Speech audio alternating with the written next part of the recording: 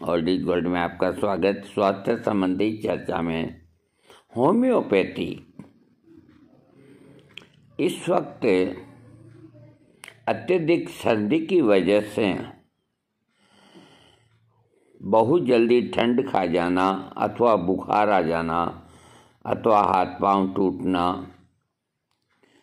एक तरह से आदमी के शरीर में ठंडी की वजह से जमता तो अंदर खून है और महसूस होता है कि जैसे पूरा शरीर जकड़ गया हो। तो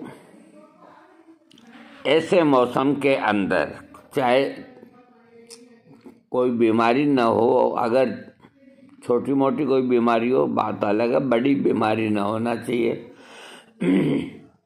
तो होम्योपैथिक में जो दवा है, इस आकड़न और जकड़न को न होने देने के लिए या कम महसूस होने देने के लिए अथवा होने के बाद ठीक करने के लिए दवा जो है, आर्निका। 200 में तीन खुराक और एक हज़ार में एक खुराक हर तीसरे चौथे दिन लेते रहने से, जिनके शरीर में वात, व्याधि है, घुटना दर्द करता है, और है। उनके लिए अमृत है और बाकी सबके लिए भी अच्छी दवा है। क्योंकि ये शरीर के अंदर जो रक्त है, उसको जमने नहीं देती और इसका कोई साइड इफ़ेक्ट नहीं। आज मैं आपको बताऊँगा एक बहुत अच्छी दवा जो खांसी वगैरह में काम आती है, इसका नाम है स्टिक्टा। Sticta pulmonaria. स्टिक्टा औषधि बहुत उपयोगी साबित होती है जब रोगी अपने आप को बीमार सा महसूस करता है। जैसे रोगी को सर्दी, जुकाम होने वाला हो, माथे में हल्का हल्का सा दबाव पड़ता हो आदि। इसके अलावा गर्दन का गठिया के रोग के कारण अकड़ जाना, जैसे रोगों में भी ये दवा बहुत अच्छा काम करती है। इसके अलावा विभिन्न लक्षणों पे स्टिक्टा का काम बहुत बढ़िया है। इसके रोगी का जो मन होता है अजीब अजीब से ख्याल आते हैं। जैसे कि वह हवा में उड़ रहा हो, हर समय रोगी अपनी ही बताई हुई ख्यालों में खोया रहता रोगी चाहता है कि हर समय कोई उससे बातें ही करता रहे। हर समय कोई उससे बातें ही करता रहे। देखिए, ये जो मानसिक लक्षण है ना, कमज़ोर नहीं होते हैं। इस तरह के लक्षणों में रोगी को स्टिकटा टीस पोटेंसी देने से उसको बहुत लाभ मिलता है। इसके रोगी के सिर के जो लक्षण है हल्का हल्का दर्द होना रोगी के माथे में और नाक की जड़ में दर्द होने के साथ ही उन पर हल्का हल्का सा दबाव पड़ना, सर्दी का स्राव शुरू होने से पहले सिर में दर्द होना, रोगी को अपनी खोपड़ी बहुत ही छोटी सी नज़र आने लगती है। आँखों में जलन और अक्षी गोलकों में किसी तरह की परेशानी होना, रोगी की पलकों में जलन होना जैसे लक्षणों में रोगी को स्टिक्टा, पल्मिनोरिया, तीस पोटेंसी दिन में तीन बार, दस दिन देना चाहिए। रोगी की नाक नाक की जड़ के पास से पूर्णता सी महसूस होना, नाक में सूजन आने के कारण जलन सी होना, नाक की झिल्लियों का खुश्क सा होना। रोगी लगातार नाक साफ़ करता रहता, लेकिन उससे से कुछ भी नहीं निकलता। शाम के समय और रात को रोगी की नाक में सूखी सी पपड़ियाँ जमती रहती है। परगल ज्वर। रोगी को हर समय छींके सी आते रहना, जैसे लक्षणों में रोगी को स्टिक्टा औषधि देनी चाहिए। वैसे भी ये एलर्जी की और खांसी जुकाम की बहुत अच्छी दवा कोई नुकसान नहीं करती है।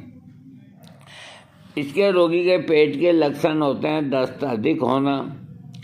सुबह के समय दस्त बहुत ज़्यादा मात्रा में पानी के जैसा आना पेशाब का बार बार आना पेशाब की नली में किसी रोग के होने के कारण दर्द सा महसूस होना लक्षणों में रोगी को स्टिकता देने से लाभ होता है। बहन बेटियों के स्तनों में दूध कम आने जैसे लक्षण पैदा होते हैं तो स्टिक्टा औषधि देने से ठीक हो जाती हैं। रोगी को सुबह के समय खांसी के साथ बहुत ज़्यादा बलगम का आना, गले की नली में जलन होना, उरो स्थित के शरीर की हड्डी पर छाती में पहुँचने वाला दर्द रोमांतिका रोग के बाद होने वाली खांसी, रात को सोते समय एक के बाद एक होने वाली खांसी जो सांस लेने पर ज़्यादा होती है। उरो स्थित के दाएँ भाग के नीचे पेट तक हृदय स्पंदन आदि लक्षणों में रोगी को स्टिक्टा पल्मिनोरिया देना चाहिए। देखिए, खांसी की होम्योपैथिक में अनेक दवाइयाँ हैं। कोई खांसी दो चार दिन, दस दिन, कोई दवा अच्छी लेने के बावजूद भी ठीक नहीं होती तो एक बार स्टिक्टा को आज माना चाहिए। तीस पोटेंसी दिन में तीन या चार बार। दो चार दिन आजमाना चाहिए। इसके अलावा जो बाहरी अंग होते हैं शरीर के, जैसे दाहिना कंधे के जोड़ में गठिया का दर्द, कंधे की पेशी में, दिवमुंड पेशी में भी होता है। जोड़ों में सूजन, गर्मी, लाल होना, रोगी के जोड़ों में बहुत तेज और खिंचावदार दर्द। का होना आक्षेप रोगी को ऐसा लगता है जैसे कि उसके पैर हवा में उड़ रहे हैं। घुटने के जोड़ की झिल्ली में दर्द होना घुटनों में बहुत तेज़ी से होने वाला। दर्द जोड़ों और उसके आसपास की पेशियों का लाल होना, सर्दी के लक्षणों से उत्पन्न होने से पहले गठिया रोग का दर्द होना, इन लक्षणों में अगर रोगी को स्टिकटा दिया जाए तो आराम मिलेगा। ये बड़ी काम की दवा है। ये वात रोग और पित्त रोग का समन करती है। नहीं, सॉरी, वात रोग और कफ रोग का समन करती है। अधिकतर ये वात और कफ। कफ के अंदर खांसी, जुकाम, आपके एलर्जी, फैलर्जी, ये सब आ गया। और वात के अंदर सिर्फ़ घुटना ही नहीं पूरा शरीर आता है, दर्द करता है, अकड़ता है, करता है। ये दवा मैंने बहुत दफ़ा काम में ली है, इसका कभी साइड इफ़ेक्ट नहीं होता और अधिकतर मामलों में ये सक्सेस होती है। इसके रोगी की तकलीफ़ें तापमान में होने वाले बदलाव के समय बढ़ जाती है। इसकी तुलना बेलाडोना से कर सकते हैं, एकोनाइट कर सकते हैं, एकोनाइट और एमोनियम कार्ब से कर सकते हैं। स्टिंजिया से कर रोमैक्स से कर सकते हैं कैम्पर नक्सवामी का ओसैम्बुकस से, जो ये भी खांसी की दवाइयाँ की जाती है। स्टिकता का प्रयोग छः पोटेंसी दिन में चार बार, आधे कप पानी में दो दो बूंद, अथवा तेईस पोटेंसी ही सबसे श्रेष्ठ है स्टिकता तीस। कैसी भी खांसी हो, सबसे पहले इसको एक बार लेके तो देखो। फिर मेरे को बताना, क्योंकि मैंने कोई खांसी का रोगी आता तो मैं ये भी नहीं पूछता कब की है, क्या है, क्या नहीं है। समय बर्बाद होता तो मैं सीधा स्टिकटा देता हूँ और दो दिन बाद आके कहता है, मैं ठीक हूँ। ये इतने, जबकि इतना ये लिखा हुआ नहीं है कि हर खांसी में दी जा।